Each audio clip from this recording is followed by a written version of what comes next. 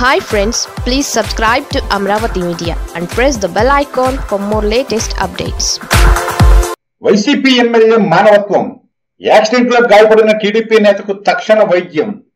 అధికార YSR Congress party MLA మానవత్వాన్ని చాటుకున్నారు. రాజకీయాలకు అతీతంగా వ్యవహరించారు. రోడ్డు ప్రమాదంలో గాయపడి విలవిల్లాడుతున్న టీడీపీ నాయకుడు ఒకరికి సత్వరమే వైద్య చికిత్స అందించడానికి సహకరించారు. స్వయంగా అంబులెన్స్కు ఆయనే ఫోన్ చేశారు. దగ్గరను మరీ ఆసుపత్రికి తరలించారు. ఆ టీడీపీ నేతకు మెరుగైన వైద్య సహాయం అందించాలని ఆ డాక్టర్లను కోరారు. ఆ ఎమ్మెల్యే పేరు వెంకట గౌడ. చిత్తూరు జిల్లాలోని పరమనేరు స్థానానికి వైసీపీ తరపున ఆయన ప్రాతినిధ్యం వహిస్తున్నారు. వైసీపీ ప్రభుత్వ పనితీరుకు నిరసనగా కొద్ది రోజులుగా టీడీపీ రాష్ట్ర వ్యాప్తంగా ప్రజా చైతన్య యాత్రని నిర్వహిస్తున్న విషయం తెలిసిందే. పడమనేరు నియోజకవర్గంలో ఏర్పాటు చేసిన ఈ కార్యక్రమంలో పాల్గొనడానికి ఓబులు రెడ్డి అనే టీడీపీ నాయకుడు బయలుదేరారు. అంతలోనే ఆయన రోడ్డు ప్రమాదానికి గురయ్యారు.